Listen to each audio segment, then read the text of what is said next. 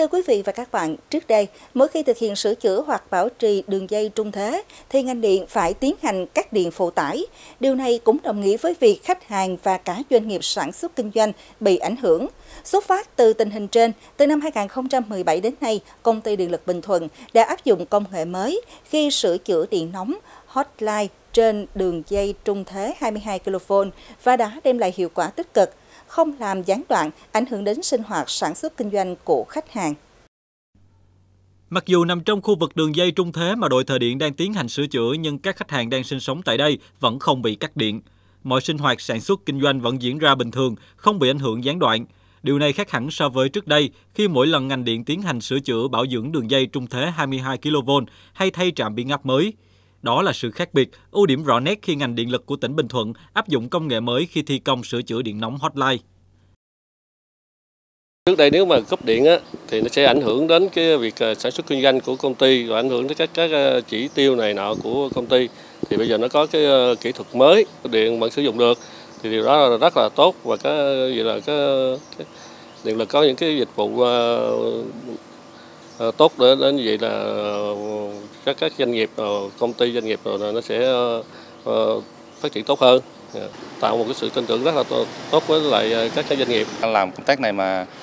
mà cắt điện thì chúng ta mất khoảng là 3.000 khách hàng. Nhưng kể từ khi áp dụng công nghệ hotline vào thì chúng ta luôn luôn đảm bảo cung cấp điện. Và số lượng khách hàng mất điện cũng như thời gian mất điện là chúng ta không có là là vẫn đảm bảo ờ, cung cấp điện ờ, liên tục và ổn định cho cho khách hàng cũng như đảm bảo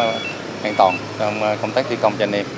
Nếu như trước đây, để thực hiện sửa chữa thay sứ hoặc bảo dưỡng một điểm trên đường dây điện trung thế, thì những người thợ buộc phải cắt điện trong vòng bán kính khá lớn, hàng ngàn khách hàng bị mất điện. Thời gian cắt điện diễn ra trong vòng từ 2 đến 3 tiếng đồng hồ và khiến sinh hoạt của người dân bị ảnh hưởng ít nhiều. Đối với khách hàng là những đơn vị sản xuất kinh doanh thì khi mất điện sẽ ảnh hưởng đến hiệu quả năng suất làm việc của người lao động. Thậm chí với những công ty quy mô hoạt động lớn thì có thể ảnh hưởng đến kế hoạch sản xuất, trễ hẹn đơn hàng với đối tác nếu tần suất mất điện nhiều. Xuất phát từ tình hình trên, công ty Điện lực Bình Thuận đã áp dụng công nghệ sửa chữa điện nóng trên đường dây trung thế 22 kV. Đội thi công sửa chữa điện nóng Hotline của công ty Điện lực Bình Thuận được thành lập vào cuối năm 2017 là một trong những đội sửa chữa điện nóng được thành lập sớm nhất trong các tỉnh thành thuộc khu vực miền Nam. Đội có 8 thành viên là những người thợ lành nghề được các chuyên gia hàng đầu của Tổng công ty Điện lực miền Nam đào tạo chuyên sâu về sửa chữa điện trên những đường dây đang có điện, có tính kỷ luật cao và sức khỏe tốt. Những người thi công sửa chữa điện nóng hotline được trang bị đầy đủ phương tiện, dụng cụ thi công và bảo hộ lao động chuyên dụng, gồm găng tay, vải áo, xe nâng, gầu cách điện 22 kV, được nhập khẩu từ các quốc gia có công nghệ hàng đầu thế giới như Mỹ, Nhật Bản. Sửa điện nóng hotline trên đường dây trung thế 22 kV nhưng không phải cắt điện phụ tải tiềm ẩn những rủi ro và nguy hiểm. Vì vậy, đòi hỏi quy trình thi công sửa chữa phải đảm bảo độ an toàn tuyệt đối. Mọi thao tác của người thợ phải được thực hiện chuẩn xác.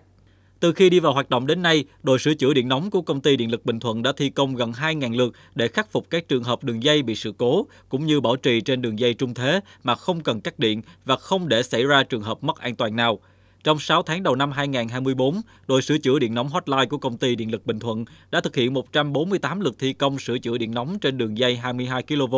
giảm được khoảng 300 giờ mất điện cho khách hàng, sản lượng điện cấp cho khách hàng sử dụng điện không bị ảnh hưởng, tương đương khoảng 330.358 kWh. Đây là bước tiến trong việc áp dụng công nghệ mới nhằm đảm bảo cung ứng điện an toàn, liên tục và ổn định cho khách hàng. Khi mình tiến hành công việc á, là mình phải tập trung dụng cụ đồ nghề, kiểm tra, lau, vệ sinh, sau đó là cho anh em sinh hoạt an toàn, ờ, kiểm tra sức khỏe, ờ, có đảm bảo ờ, thể lực để làm sau đó là tiến hành công việc là phải kiểm tra đồ nghề lần nữa và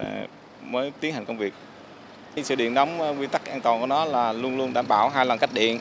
là lúc nào cũng phải có hai lớp cách điện. Một là găng tay, vai áo, hai là cái thùng gào cách điện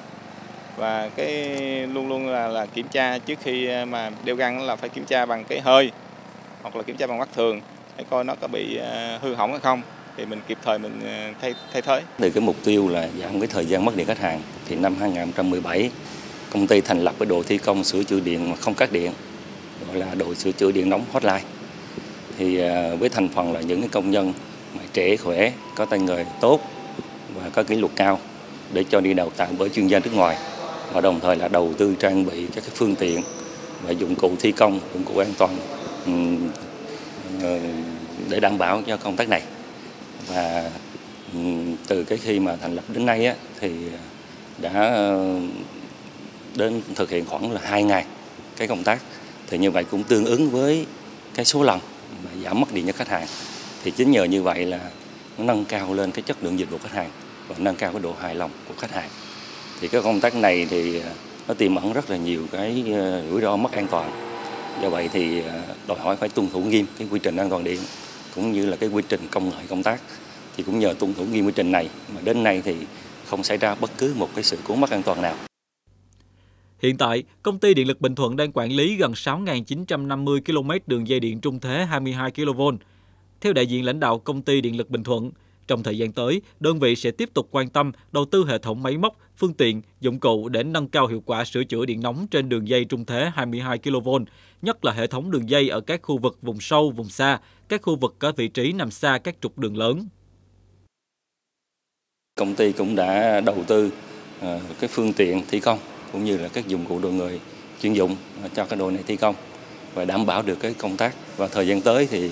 cái định hướng là ngành điện cũng tiếp tục nghiên cứu À, để mà áp dụng cái công nghệ thi công hotline nhưng mà không có sử dụng cái phương tiện à, cơ giới thì để phục vụ cho những cái khu vực hiện nay mà các lưới điện cách xa cái đường giao thông mà xe cái à, hotline không thể tiếp cận được thì để khắc phục cái hạn chế hiện nay là những cái tuyến đường ở ngoài đô thị mà chưa thực hiện được hotline.